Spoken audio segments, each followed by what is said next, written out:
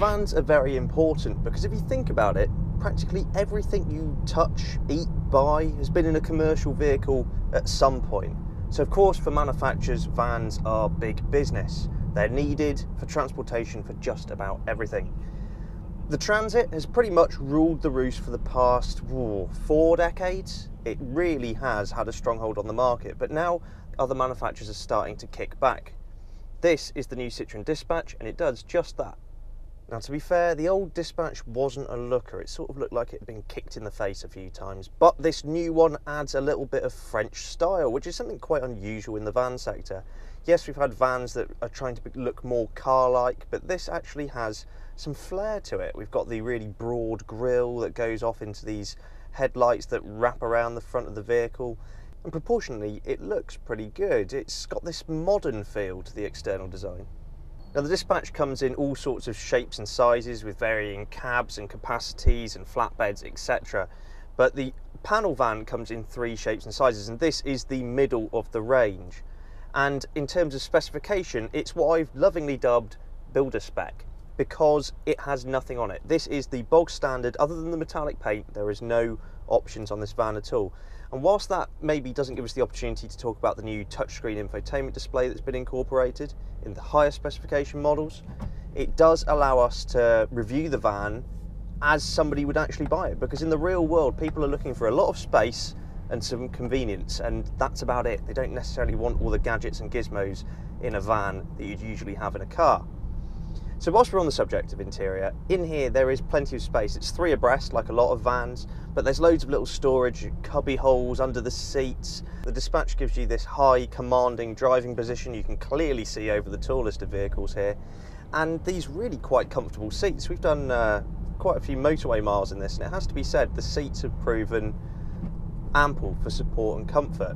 Whilst we're on the subject of comfort, the suspension in this van I think is one of the best in its class. I think it could be the best riding van I've ever come across. And considering that the UK is just peppered with potholes, that's quite an important factor if you're going to spend your entire working day in a van. It does come with some luxuries as standard, such as a DAB radio and USB ports to charge your phone. Obviously, being a van, what's behind this solid bulkhead is of great importance. Slide open either of the side doors, a very useful feature if you're making deliveries, and you'll find 5.3 cubic metres of space in this medium-sized van. All the panels have been boxed off quite nicely, meaning you're unlikely to do any damage to the interior of the vehicle carrying something that might slide about in the back. The obligatory double doors at the back are pretty useful for loading big, heavy items. There's a nice low load lip there, so you won't be putting your back out loading things into the rear.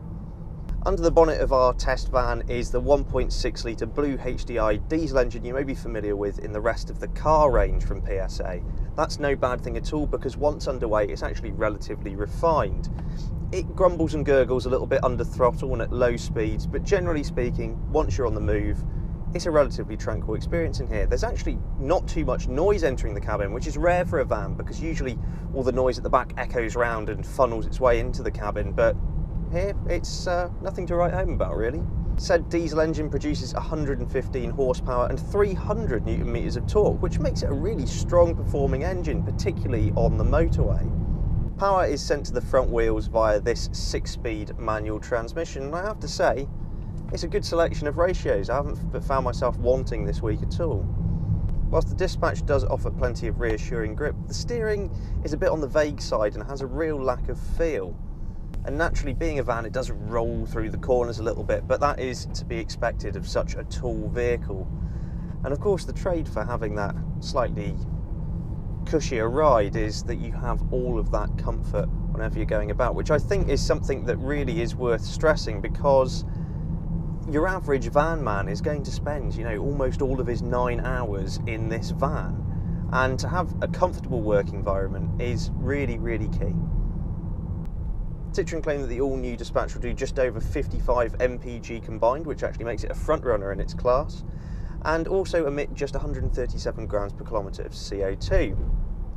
The new Dispatch is certainly a savvy choice, and it definitely makes life much more difficult for the likes of the Transit and the Mercedes Vito. At £17,915 starting, it's relatively good value too. Thanks very much for watching and let us know what you think in the comments below. Please subscribe for all of the latest and greatest cars to hit the road. For breaking news and written reviews, visit www.insidelane.co.uk.